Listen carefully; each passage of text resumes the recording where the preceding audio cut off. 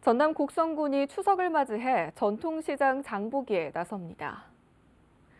전남 곡성군은 다음 달 9일까지 위축된 소비 심리로 어려움을 겪는 전통시장 상인들을 위해 전통시장 장보기에 나선다고 밝혔습니다.